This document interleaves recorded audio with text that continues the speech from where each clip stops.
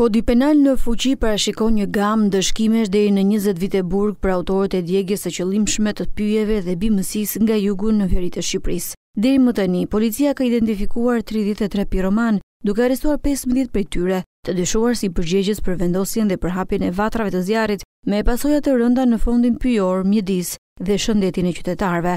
Nëse Prokuroria në bashkëpunim me Policinë do të provojë para gjykatës përgjegjësinë e tyre si zjarrfikës të qëllimshëm, ata do të kalojnë një pjesë të jetës prapa hekurave. Konkretisht, neni dyqind e gjashtë, fraksion A i Kodit Penal, ndryshuar për herë të fundit në vitin dy mijë e trembëdhjetë, parashikon pesë deri në tetë vite burg për shkatërrimin me dashje përmes zjarrit të fondit pyjor dhe të çdo njësie të ngjashme me të, me pasoja të rënda materiale. Kur zjarrvënia është kryer me qëllim, ndryshimin e kategorisë dhe destinacionit të tokës, nga pyll në kullotë, truall e të tjerë, parashikohet një dënim me burg nga pesë deri në pesëmbëdhjetë vjet. Ndërkaq, kur vënia e zjarrit të qëllimshëm ka shkaktuar pasoja të rënda për pronën, shëndetin apo jetën e njerëzve, apo dëme të rënda dhe të zgjatura në kohë ndaj mjedisit, dënohet nga dhjetë deri në njëzet vjet burg. Shkatërrimi i pronës me zjarr parashikohet si vepër penale edhe në nenin njëqind e pesëdhjetë e një të Kodit Penal, vepër e cila në varësi të pasojave dënohet deri në pesëmbëdhjetë vite burg. Kodi Penal ndëshkon jo vetëm zjarrvënien e qëllimtë, por edhe nga pakujdesia.